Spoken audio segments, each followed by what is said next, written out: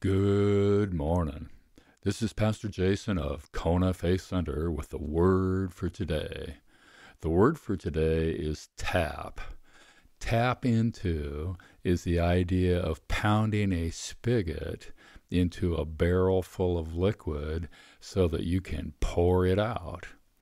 Tap into the peace that the Lord of peace makes available at all times and in every way.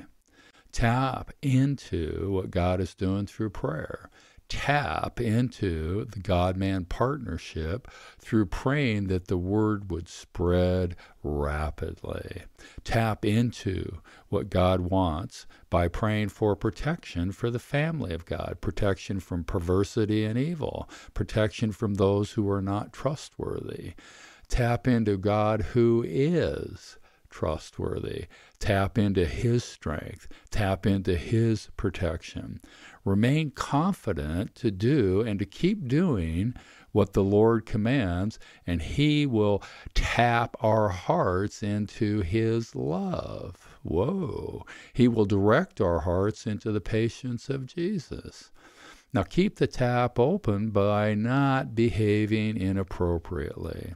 Keep the tap open by imitating the Jesus you see in others. Keep the tap open by not behaving irresponsibly. Whoa. Keep the tap open by working so that you can be part of the solution instead of part of the problem. Do not grow weary in doing good. Keep the tap open by warning the disobedient. Whoa. Keep the tap open and flowing by taking advantage of every opportunity to give.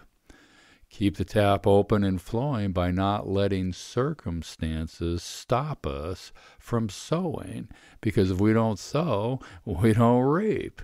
Keep the tap open and flowing by not withholding what is in my hand. God is not a withholder, He's the giver. We need to imitate Him.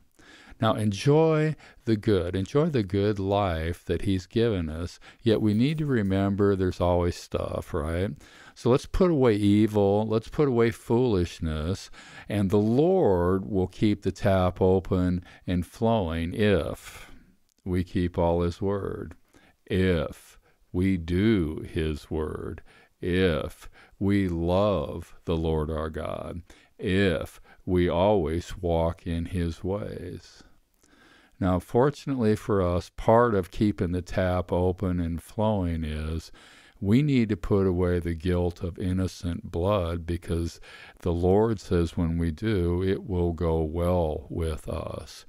Unfortunately, we need to put away evil from among us so that those who remain shall hear and fear. This keeps the tap open and flowing. Now, we want to keep the tap open and flowing by tapping into the sense of well being that comes from the God of all well being, that the God of all well being makes available to us at all times and in every way. The word for today is tap. Get out there and tap into all that God has for you today. God bless check in tomorrow.